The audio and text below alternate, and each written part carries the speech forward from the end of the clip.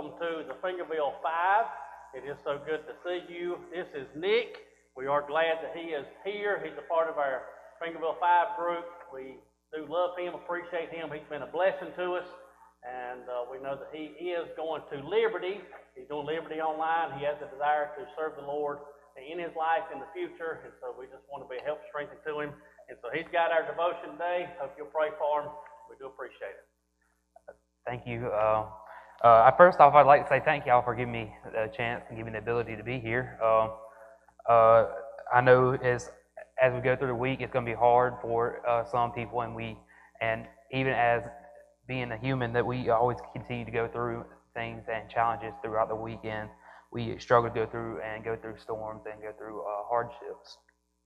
Um, when going through these things, I just I just wanted to encourage everyone and let everyone know that you know, even though we have these thorns, even though we have these uh, hard times, we have uh, we do have someone by our side no matter what, and we still have the ability to have some kind of per, uh, person in our life to watch over us and to give us the ability to uh, speak to us.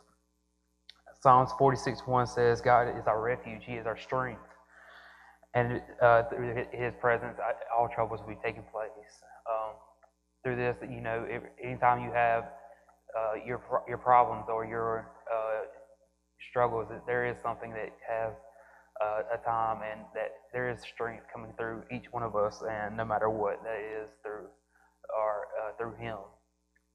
Uh, Matthew 9 26 says that with man any uh, it is impossible and but through him all is all is strengthened through him.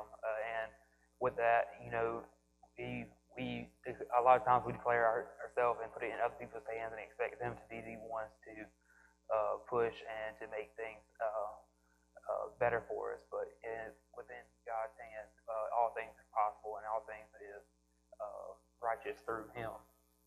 You know, and even knowing that, you know, on Monday is Valentine's Day, I just want everyone to uh, recognize that even if you don't feel loved, even that you don't feel hard time, and hard place, uh, there is someone that does share love with y'all and that is, does share the love and kindness with y'all.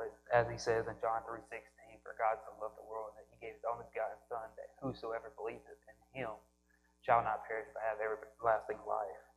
Um, you know, just seeing that and is uh, heartbreaking and is a heartwarming and heart uh, touching situation in itself uh, to be uh, where we're at today. Uh, you know, even when you see that, you know, uh, that's our goal is as humans, as a goal as a follower of Christ is to to push ourselves to do better and to push ourselves to gain a redemption through through that uh, through that process. And in 1 Corinthians 16, 14, he says, do everything with love. You know, we all have struggles sometimes to see the things that we do not uh, realize and see the things that we struggle most and to uh, find the things that are hard in life at most. And uh, I feel that the best way to do that is to do it in love. And and he tells us in Scripture, just as I told you in 1 Corinthians 16, 14, uh, to do it all in love. So I just encourage y'all as y'all uh, go out throughout the rest of the week, the, throughout the rest of the uh, the year as the year started off and throughout this time. I just encourage y'all to love one another and to love each and every one that is uh, in the same relations, no matter what it is. Thank y'all.